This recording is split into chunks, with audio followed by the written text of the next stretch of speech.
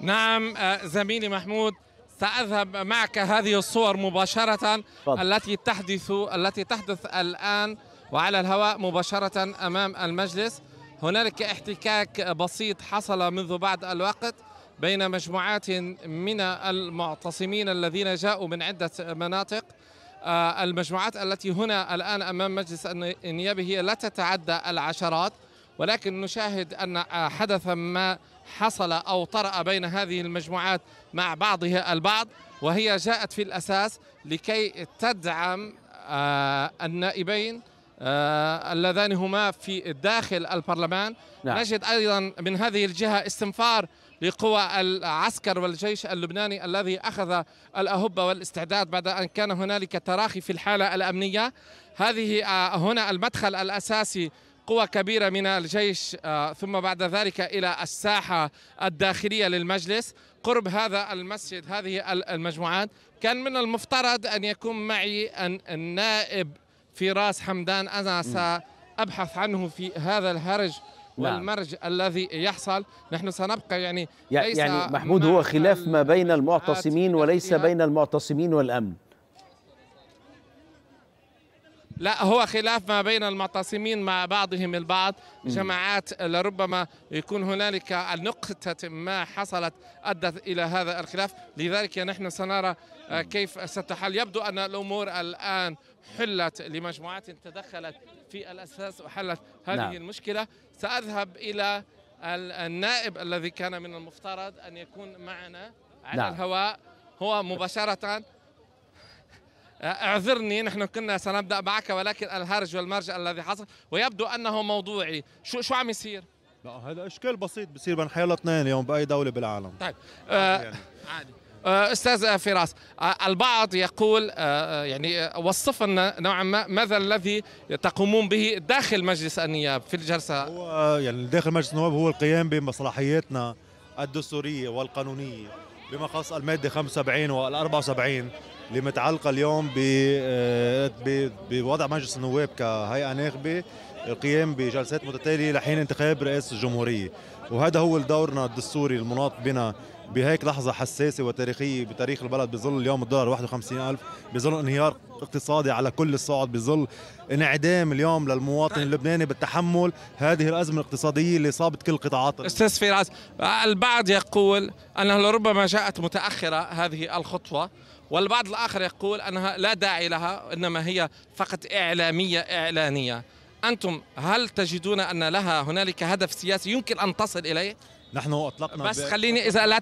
لا. لا تزعل مني بس خلي الكاميرا في للمقلب الآخر بس خلي الصوت معي نعم نحن أطلقنا آه، في أيلول آه، المبادرة الرئاسية وهذه المبادرة الرئاسية كان هدفها إنتاج رئيس جمهورية وفق معايير ومواصفات أما اليوم هذه الخطوة هو خطوة مثل ما قلت من ضمن صلاحياتنا ومن ضمن مهامنا الدستورية والقانونية وفق الدستور اللبناني. طيب أستاذ بدي خلينا ناخذ من الصور الحية الآن التي تحصل في الشارع، البعض أيضا يقول أنكم لم تستطيعوا أن تحشدوا معكم ناس وأنتم يعني ب 13 من النواب التغييرين، والدليل على ذلك هون عشرات الآن ونرى هذا المشهد، يعني في بس هلأ يعني كمان ما نحط المشهد بإطاره. نعم. المشهد هو إشكال فردي بسيط بصير بين حيالله اثنين بين أي شخصين نتيجة خلاف معين أوكي؟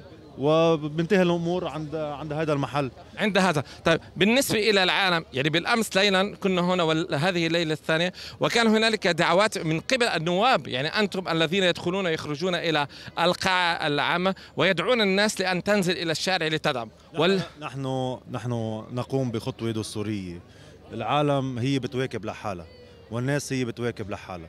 فهيدي المواكبة هي مواكبة لحقوقها ومواكبة لاستقامة العمل الديمقراطي وعمل المؤسسات في الدولة اللبنانية. هذا هذه الخطوة نقوم بها من ضمن صلاحياتنا وضمن مسؤولياتنا كنواب لبنانيين. أما الناس فهي نحن لم ندعي أحد على موضوع إنه لتكون بالشارع بس الناس هي بتواكب عمل النواب التغييريين بإطار بإطار مصلاحياتنا ومسؤولياتنا تجاه البلد بشكل عام. أستاذ حمدان بالنسبة إلى الداخل في الاعتصام أنتم تضعون في مدة محددة أم ستبقى الأمور مفتوحة إلى حين ان- انتخاب رئيس جمهورية هلا كل خطوة بخطوتها كل خطوه كل خطوة بخطوتها كل خطوة؟ كل خطوة بخطوتها كل. خطوة. اليوم نحن أطلقنا هذا التحرك آه، داخل مجلس النواب.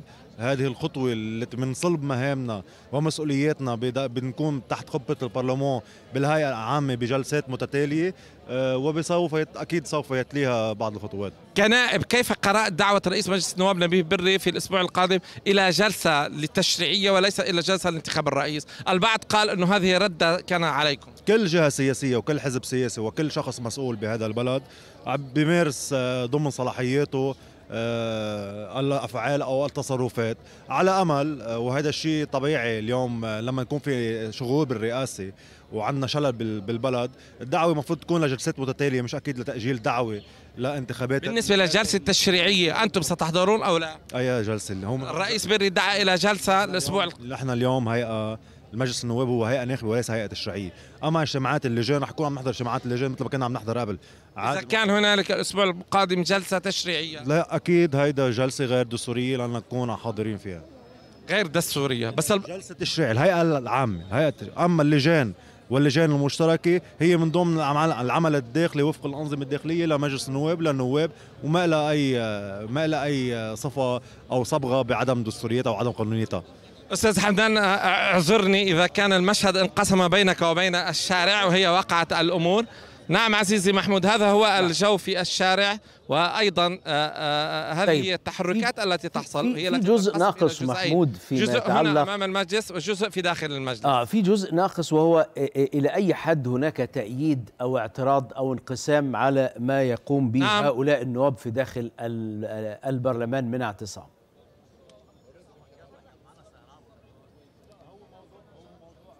ما الصوت الآن. محمود أسألك عن إذا كان هناك تأييد أو رفض أو حالة انقسام في الشارع كما ذكرنا حول ما يقوم به هؤلاء النواب في داخل البرلمان لو تسمعني محمود نعم نعم. الآن أسمع الجزء الأخير من السؤال التأييد أو عدم التأييد؟ نعم. هو مسألة منعكسة في الشارع اللبناني. منهم من يرى أن هذه المسألة هي جيدة ويمكن أن يبنى عليها ولكن البعض الآخر يرى أن هذه المسألة بالسياسة لربما لن تؤدي إلى نتائج محسومة أو ملموسة على الأرض لأن الاعتصام هو موجه ضد من؟ ضد أي قوى سياسية؟ هل هو موجه ضد الذين يخرجون بعد الجلسة الأولى أو هو موجه ضد الذين لا يريدون أن يبقى مجلس النواب كجلسة مفتوحة دائما؟ يعني في مشكلة بعملية توجيه هذا الاعتصام. ثم بعد ذلك المشكلة الأكبر هي عملية التعاطف الشعبي وأيضا التعاطف النيابي مع النواب الذين هم في الداخل.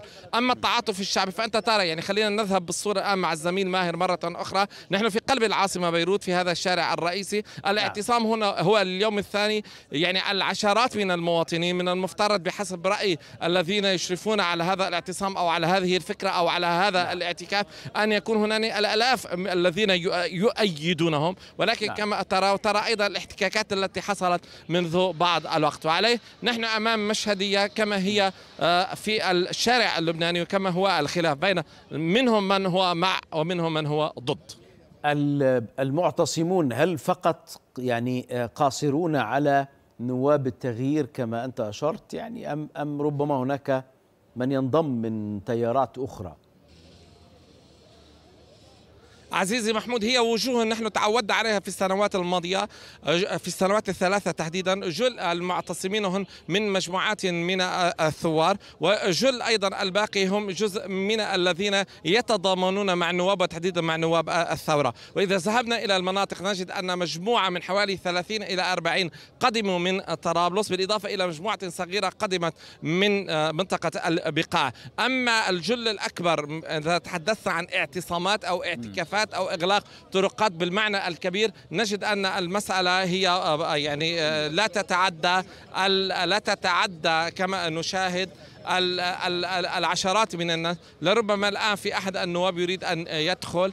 لا أعلم من هو هذا النائب ولكن كما تشاهد الآن أيضا في المقلب الثاني عند المدخل النيابي ب- بكاميرا الزميل كيف هو الاحتشاد أو ال- الامني الذي حصل ما أن وقعت المشكلة من حرس المجلس إلى وحدات من الجيش اللبناني التابعه لإفواج تدخل بالإضافة أيضا إلى عناصر تابعه لمكافحة الشغب آه، كانت القوى الأمنية هي قد آه، ساندت آه، منذ يوم أمس بسرايا من فوج المغوير تمركزت في داخل المجلس ولكن الآن ما الآن حصل هذا الإشكال حتى أيضا قامت القوى الأمنية بهذا التأهب خشية من أن يكون أن يدخل أحد من المعتصمين أو المتظاهرين إلى الداخل. هنا الآن أحد النواب يريد أن يدخل النائب من منطقة جزيرة يريد أن آه، ماجي شو عم يصير على الأرض الآن؟ وصل النائب الياس جرادي وما عم بيخلوه يفوت لجوا. هو نائب البرلمان المفروض يكون جوا. مين مين ما عم يخليه هلا العسكر قالوا له ممنوع تفوت. اذا في عندهم غير مدخل رح يفوت.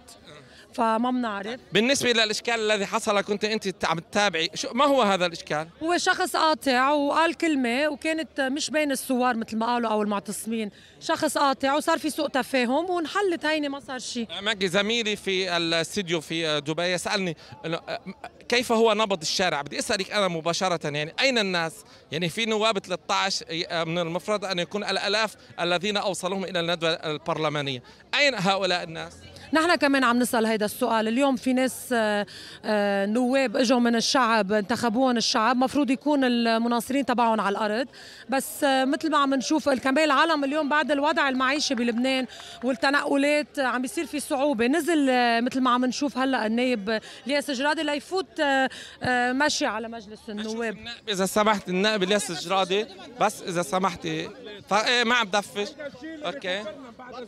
بعد إذنكم. خليني شوف بس النائب جرادي قطع على الهواء مباشرة اللي جايين لهون نحن هيدا الشيء اللي بكبر لنا قلبنا. أكيد. النائب جرادي بدي أسألك بس آه، آه، برأيكم هذه الخطوة التي تقومون بها وتحديدا من نواب الثورة هل هي بالسياسة هل هي بالسياسة ستؤدي إلى نتائج إيجابية؟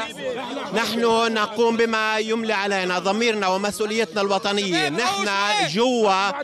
السؤال مش ليش نحن جوا نحن عم نستغرب ليش غيرنا برا. إن كان ب القانون وإن كان بالدستور هو أن يكون انعقاد دائم لمجلس الدستور لمجلس النواب. كذلك نحن نقول كل الأزمات اللي عم بتواجهنا بلبنان إن كانت بالاقتصاد بالسياسي بالقضاء بالأمن إلى آخره مدخلها انتخاب رئاسة الجمهورية من يعطل انتخاب رئاسة الجمهورية يعطل قيامة الوطن. يعطل لبنان. لا يمكن ألا يكون هيك. أستاذ جاد أستاذ نحن بنعرف مين عم بده ينتخب مين عم بيعطل أنتم بتعرفوا. أستاذ ما في حدا نحن عم نقوم بواجبنا أكيد. الشعب معكم الشعب السؤال مش نحن لا. السؤال مش إلنا ليش فايتين لجوا؟ السؤال غيرنا ليش بعده برا؟ وين مسؤوليته؟ السؤال إلكم لكل الشعب اللبناني لكل الكتل. السؤال لكل الشعب اللبناني اللي انتخب نوابه انتخب نوابه مش مشان البرستيج انتخب نوابه مشان يقوم بواجبهم الوطني. قولوا يا شباب؟ هيدا أنتم بدك تسألوا نوابكم شو عم تعملوا مش أستاذ إلياس هل أنتم هل أنتم هل أنتم متضامنون؟ طبيعي اليوم متهمين إنه تعملوا بروباغندا وتفوتوا تقعدوا بالمجلس وعارفين إنه هالشيء ما رح يوصلكم لمحل. شو بتردوا؟ صار الالتزام بالدستور والوطن اتهام فإذا هذا الاتهام فأنا أكبر متهم وأكبر مجرم. شكرا. هذا النائب الياس جرادي. نعم. بس إذا سمحتي. هذا النائب جرادي الآن هو في طريقه إلى داخل المجلس للانضمام إلى النائبين خلف وأيضا النائب النائبة عون.